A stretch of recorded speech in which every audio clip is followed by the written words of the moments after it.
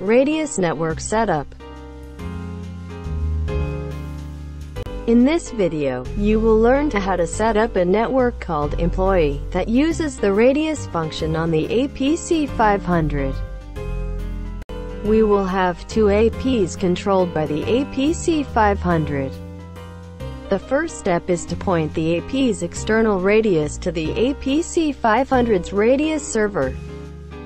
Then we need to enable the internal radius server on the APC 500. Finally, we create the radius accounts on the APC 500.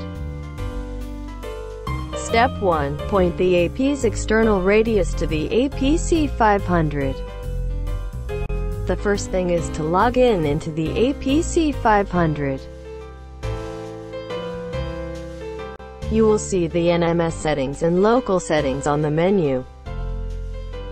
The NMS setting is for the settings of the managed AP. It is not for the APC 500 itself.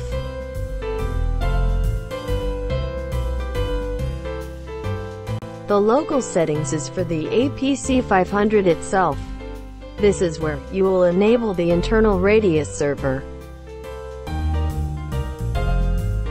Now, let's go back to the NMS settings and set up the AP to point the external radius to APC 500.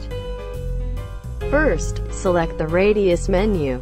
Then go to the external radius server and click on Add. Please enter external for the name. Then enter APC500's IP address. Now, enter any password as a shared secret. It is a password used between server and client. Finally, click on Save and Apply. Congratulations, you have just created a pointer to the APC 500.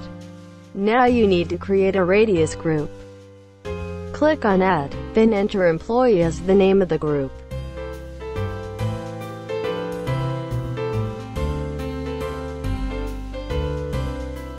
Choose external for both 2.4 GHz and 5 GHz to enable the radius group. Finally, click on Save and Apply. Step 2. Enable APC 500's internal radius server. Now, go to the Local Network menu and select Internal Server.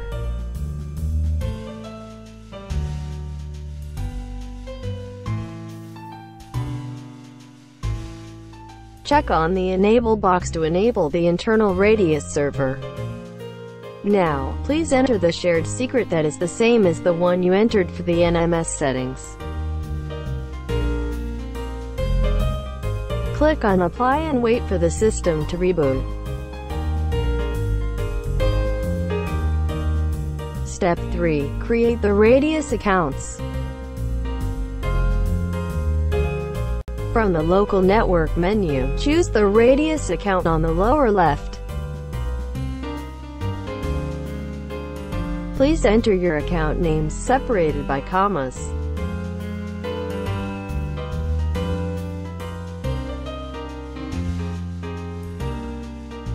Now, click on Add and wait for it to reboot.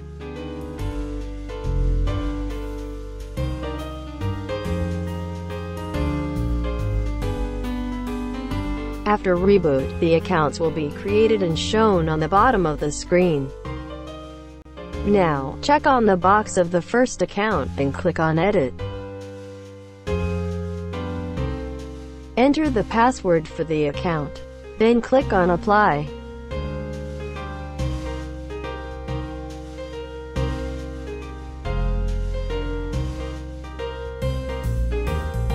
Now, repeat the same process to add passwords to the other accounts.